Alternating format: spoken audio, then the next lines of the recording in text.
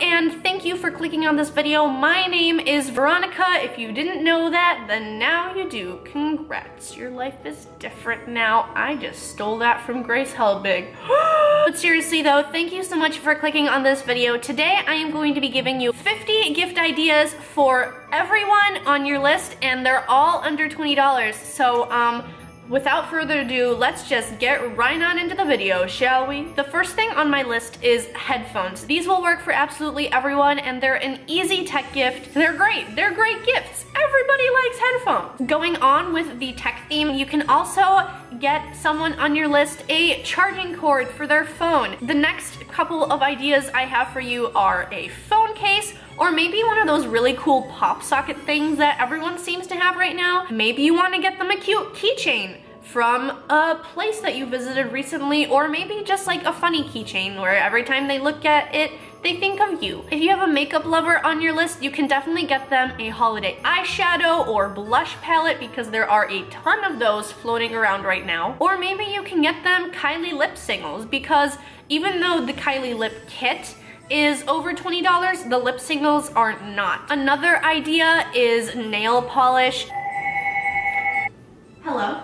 If you know someone who likes to indulge themselves, then any chocolate or candy or bath bomb or face mask would work for them. Another idea for someone who maybe likes a night in at home is a candle. Whether it's holiday scented or just a normal like cotton scented candle, I feel as though everybody could get good use out of one of those. Water bottles are really in right now as well as cute coffee or travel mugs. Ingrid Nilsen did a really cool DIY series instead of Vlogmas uh, I think like two or three years ago, and one of the videos is actually how to make a really cool personalized mug with nothing but a white mug and a Sharpie. So if that's something you're interested in, I probably linked it down in the description so you could definitely check that out. You could also get this person movies, books, a blanket, or maybe if you have a journaler on your list, then maybe you get them a cute notebook or a journal or a scrapbook, or maybe since it's the new year, you get them a planner. Also, I feel as though once you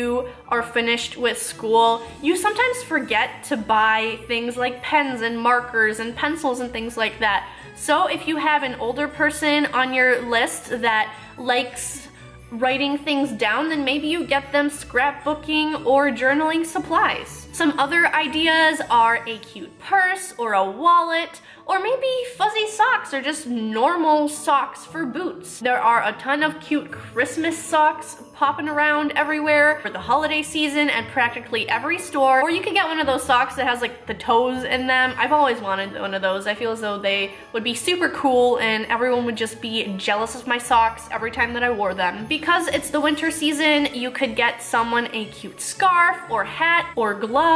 Or if someone on your list likes jewelry, you could get them a cute simple necklace or earrings or a ring. Not that kind of ring. Unless you're getting engaged, then congratulations! Lokai bracelets are really popular right now and they are under $20, so maybe you wanna get someone one of those. Or just a baseball cap. If you know a health buff then a good idea of what to get them is a yoga mat. Even if they're not into yoga, they'll pre I'm pretty sure that they'll be able to use it in practically any workout routine. Or if they prefer being in the kitchen, then maybe you get them cute kitchen utensils or just a healthy cookbook for recipes that you know they like. Another good idea is home decor. I feel as though everybody always loves a good home decor piece and every time that they see it in their house, they would just think of you. You could get a really cute paperweight or a bookend, things that people don't usually think about when they go out to stores, but once it's gifted to them, they'll make good use out of it. You could always get someone perfume or cologne. If there's a classy guy in your life, then maybe it's a good idea to get them a watch or a tie. Or if